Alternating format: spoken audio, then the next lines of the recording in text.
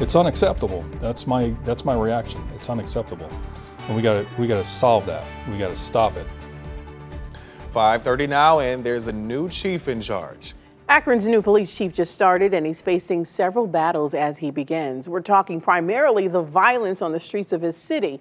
Have a look at this. In 2020, there were 50 murders over the course of the year, which was considered high, but already this year, there have been 34.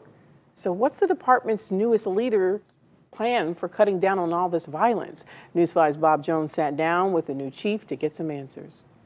Steve Mylett moved 2,400 miles from Bellevue, Washington to Akron to take the job as Akron's top cop.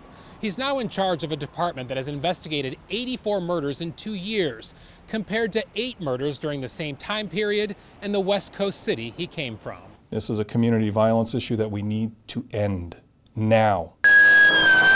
A week into the job, and Mylett is focused on the violence plaguing Akron. Through July of this year, there have been 71 documented shooting incidents in the city, including murders, felonious assaults, and discharging guns. Of the 34 murders in 2021, 31 of the victims died from gunfire, with 16 cases solved.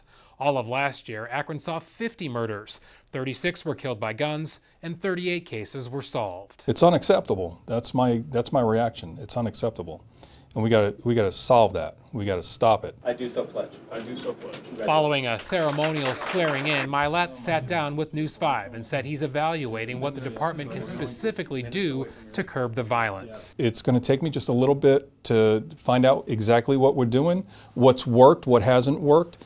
Uh, and I am not above stealing and ripping off other police departments and their ideas and, and customizing them to the needs of our local community. Something the chief plans to do very soon is meet with faith based leaders. I am going to be reaching out next week to several of the uh, uh, faith-based leaders and um, find out what the relationship is. Mylett stressed fixing the serious problem goes beyond police and church groups. He said help is needed from residents, businesses, and school districts too. We need to identify what is leading one human being to look at another and pull the trigger.